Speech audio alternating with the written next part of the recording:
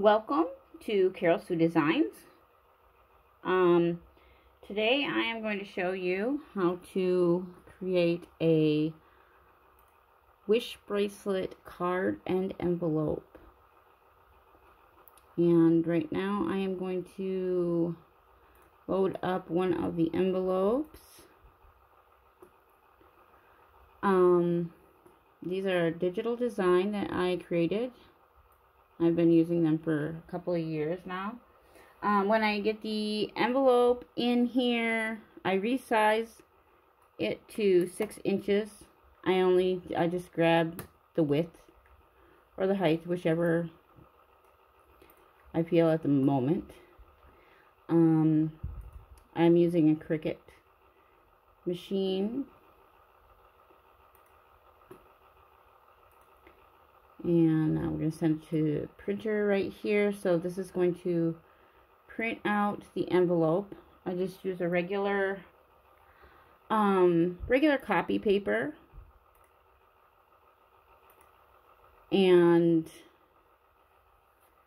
um, for the cards I use a thicker cardstock. I get uh,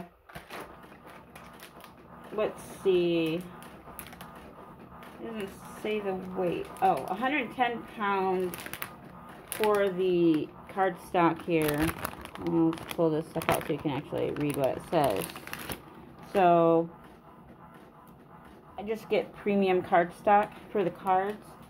That way, you know, your cards are thicker and sturdier for um, putting your bracelets on. And we're just going to pop this on here.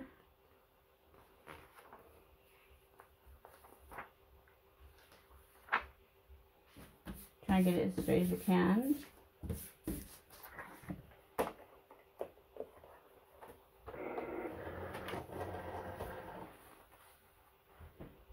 I used to, I had a, um, envelope cutter that I bought.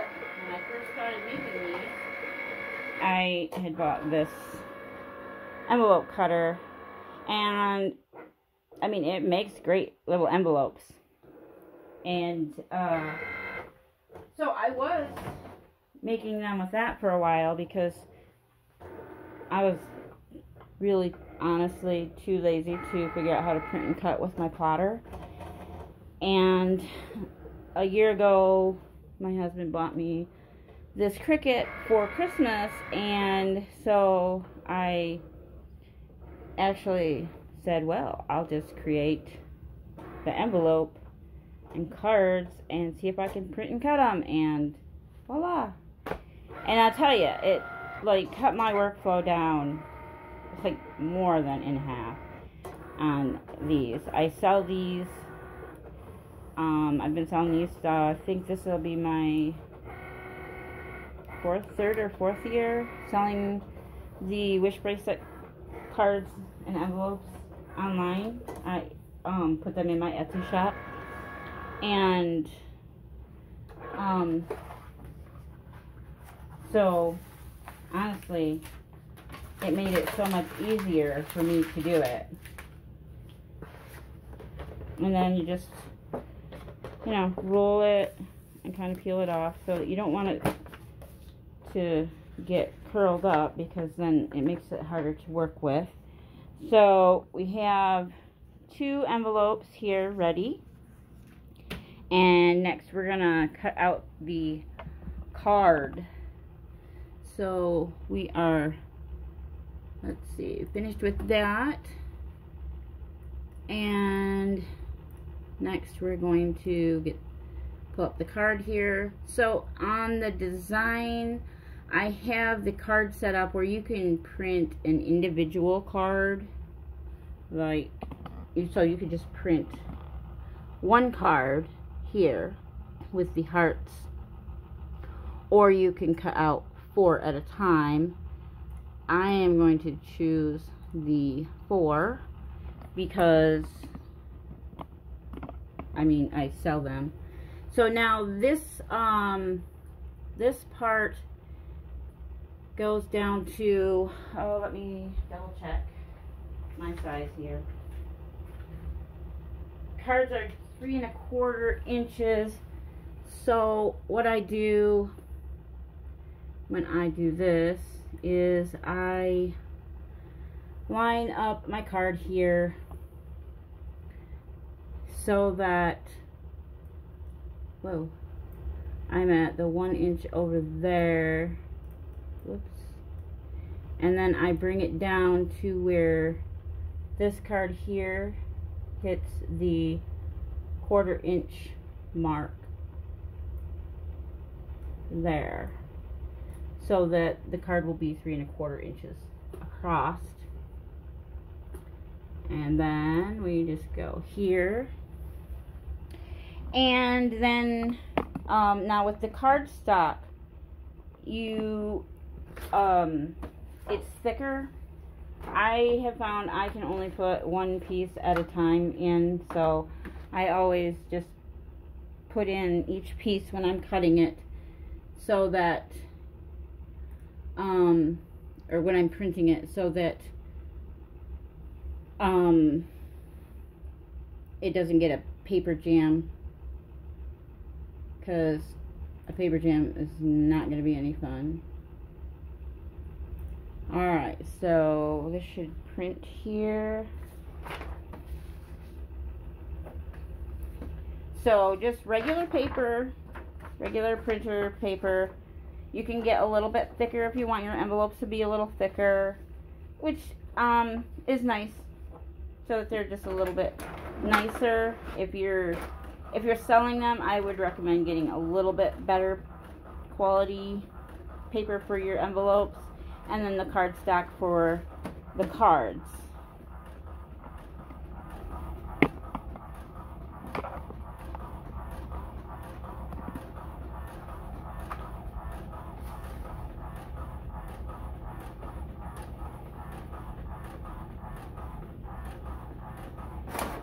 There we go.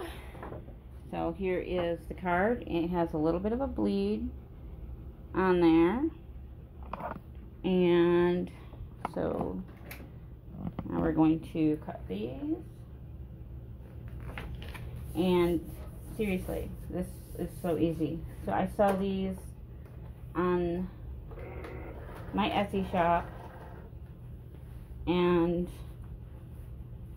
people really like them. I've gotten really good reviews um, from people when they buy these for Valentine's Day. And a lot of times people will buy several. So, you know, like I put them up for $6.99 individually. And then if they, um, like I tier it down, so the, like knock the price down like, I don't know, around 50 cents ish per item, the more that they buy. Some people want to, some people, like, I've sold like two dozen, I think, before at one time. And so,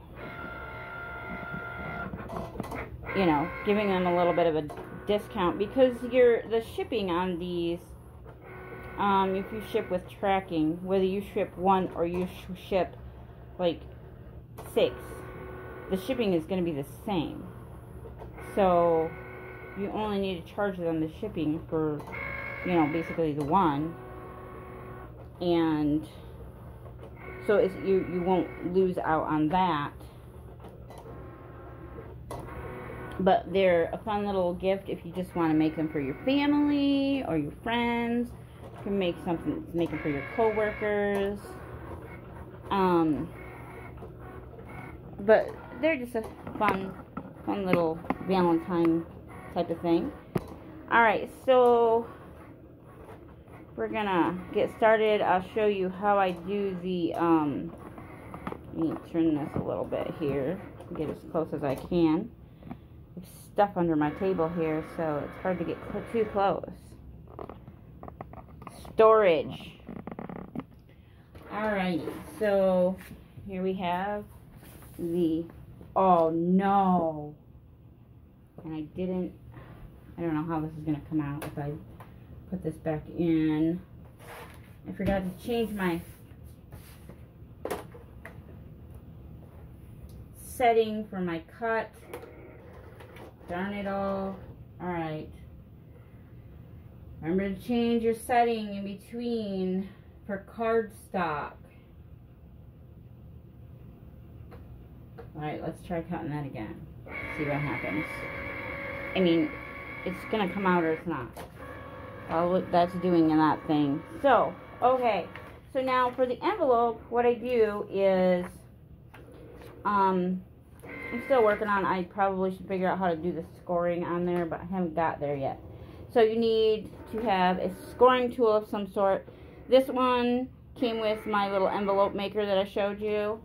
So I really am accustomed to this one, but this one will work as well. This came with my Cricut machine, or I bought it with a set or something. Alright, so what I do, okay, this is an old um, paper cutter, and I don't use this one anymore, so I popped the thing off of it and I use it for scoring stuff now because you have your little slit here that's all you need is just that little groove. And then I line up this and that right at the groove here and then this slide. And you got to be careful depending on the thickness of your paper you don't want to do it too hard. Okay let's see. Line it up this spot sorry, I think I told you the wrong spot, the corner, and just slide it like that. I've, I've actually literally cut the paper because I had done some with just the regular paper and done it too hard. Um, so then you just are gonna score it all the way around like this.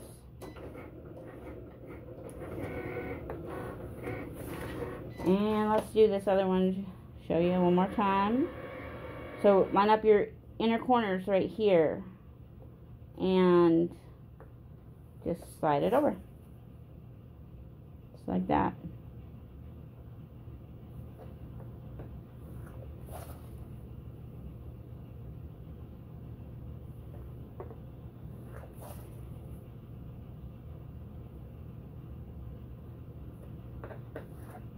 Alright. And then you have these score lines where you can pull that. Alright, let's see if we can pop this off of here now. See if it uh, worked out for me. Mostly, yes. Alright. So we got these cute little hearts. Um,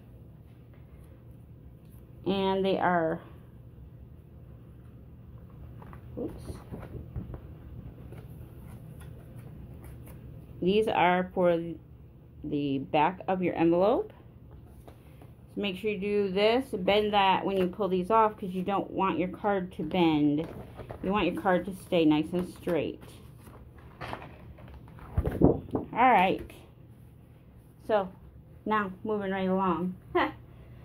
ah, we've got our envelopes scored. And so here, see how your card actually fits in here. So you, if you could make your cards larger, um, I do them at this size because if you go too wide, it won't let you cut it. So you can adjust what size you want to make them you, you know, they can, like, this is one that's already done before. That one actually seems a little bit larger than this. I probably just sized it down just by eye. Um, so you want to fold your envelopes. Just do this here at your score mark. Hopefully I'm not getting off the camera here. Alright. So here's your bottom of your card. You want to fold in left side or your right side first, whichever you feel. Um, but you want to make sure it's lined up nicely here so that it doesn't, like, sometimes it will come out where, I don't know how to, where, like, this will be, like, way off. Like that. You don't want that. I mean, family isn't going to care, but if you're selling these, you want quality. So, you do that. So, let's do this one more time. Um, here's your bottom. So, you could actually go start here. Come here. Do that side. Then bring your bottom up. And then do your top. Okay. So, see how this is not quite aligned? So, I just flip it. Whoops. Let me show you again. So, this isn't quite aligned right there. And I don't like that. So, I just flip those two. So, that's aligned. And it looks much better. So then, for this, I, once I get all folded nicely, I just a dab of glue right at the corner tap it down, another little dab of glue right there, and tap it down.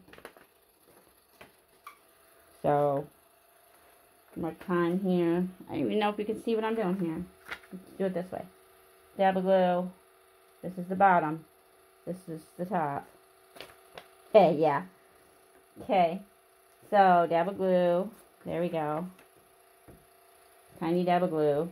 And it doesn't really take that much glue to do this. Sorry if you uh, just heard my noisy computer over there.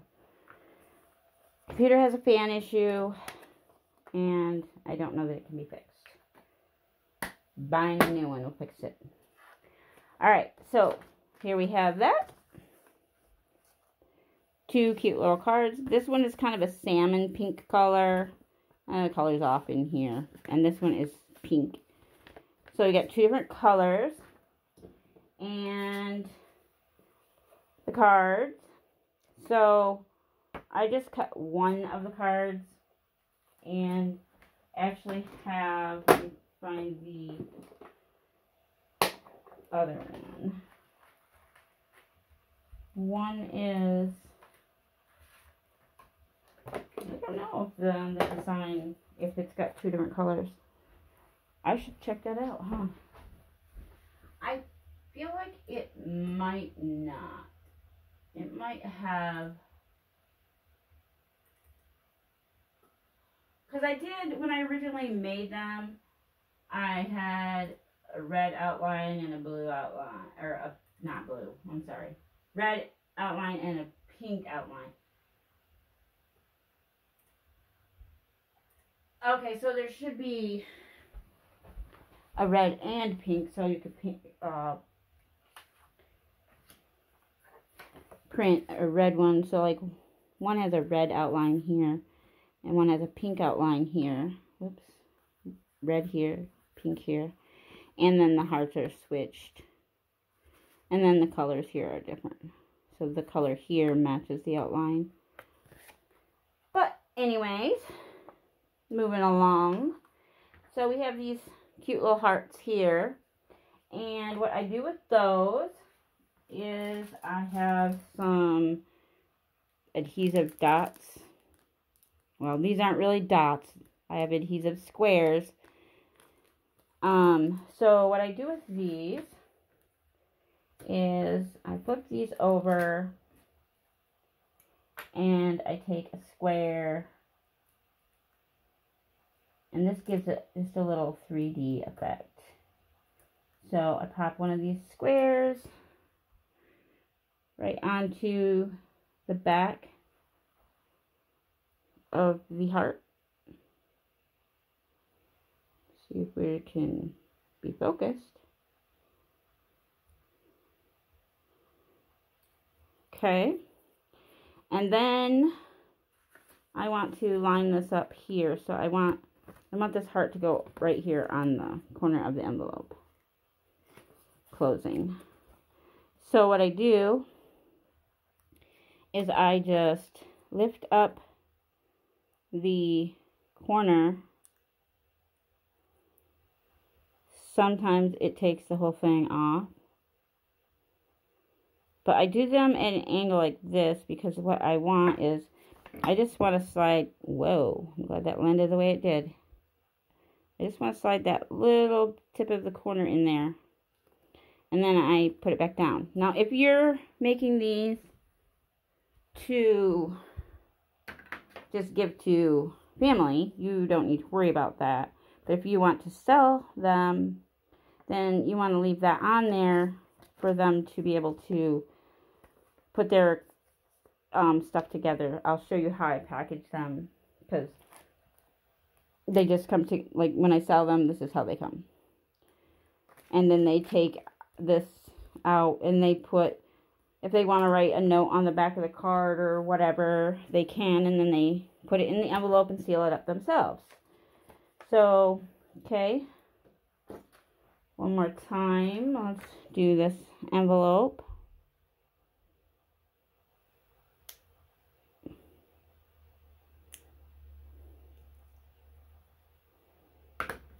And then just slide that in. Right there. Boom. Squish it back down. And you have your envelope. We have two envelopes.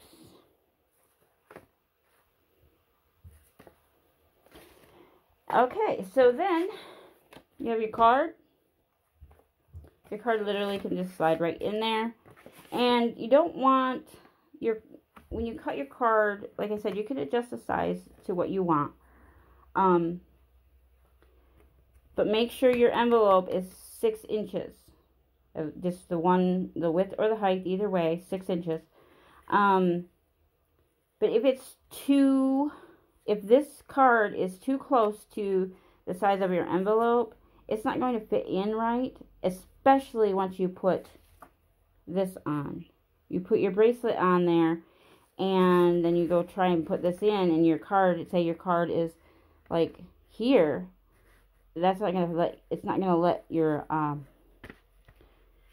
your bracelet slide in there nicely. So you you want room in there for it to go nicely. So what I use for you can use any kind of heart charm. I just have these little tiny heart charms. They're cute and I have pink and I have red cord that I use for mine. You could decide to use white or black or whatever colors you want. Um, I have these cords. This is just waxed cotton cord. Is all it is. They work great. This is like a 0.5 millimeter so then what I do, um, now you're going to, depending on what kind of charm you have, you'll have to figure out how to tie it on. I think these ones, I have to just put one end in there. And then we just go like this. And I tie a knot in there. And slide that knot all the way down. Boom like that. And we're good. Um now if you have a different kind of charm like you could use like um a bead. I mean, you don't even have to use a heart if you don't want to. You can put on it whatever you want. It's your choice. If you're making it, you can do it ever how you want to. Um,